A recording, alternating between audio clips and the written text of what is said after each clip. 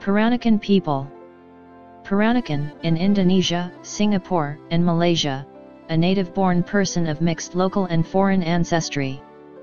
There are several kinds of Peranakans, namely Peranakan Chinese, Peranakan Arabs, Peranakan Dutch, and Peranakan Indians. The Peranakan Chinese, however, form the largest and the most important group, and for this reason many scholars use Peranakan to refer specifically to the Chinese group. Until the end of the 19th century, the immigration of Chinese to the Indonesian archipelago was limited because of difficulties in transportation. Most of those who reached the island of Java were men, mainly from the southern provinces of China, who then married indigenous women, usually nominal Muslims or non-Muslims.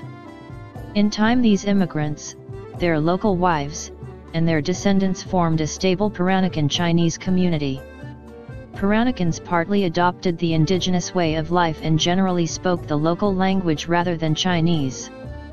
Along the northern coast of Java, where the Chinese population of insular Southeast Asia was concentrated, a combination of Bazar Malay and Hokkien dialect was used as a common language, and this language later became known as Bahasa Melayu Tionghoa, Chinese Malay.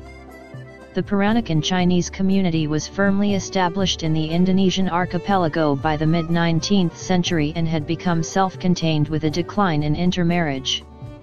New immigrants were rapidly assimilated into the Peranakan community because there was no mass immigration.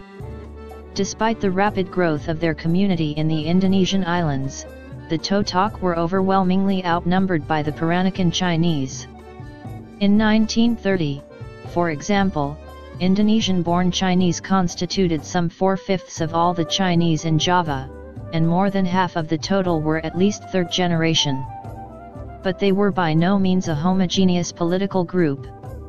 In Singapore and Malaysia the term Peranakan refers primarily to Straits-born Chinese that is, to those born in the former Straits settlements, specifically, Singapore, Penang, and Malacca, or in the former British Malaya, now Peninsular Malaysia, and their descendants.